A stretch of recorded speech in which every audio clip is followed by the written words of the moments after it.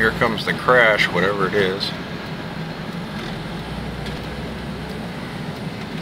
Blocking all 95 in Boca for this one. It's gotta be bad.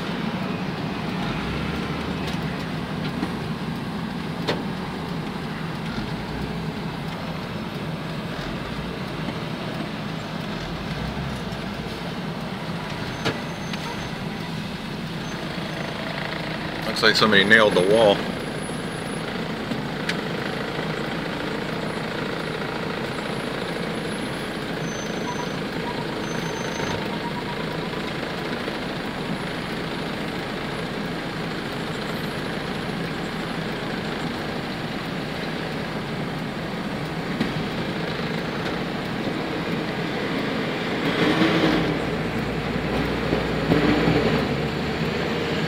Severe Incident Response Vehicle. So this must be a bad one.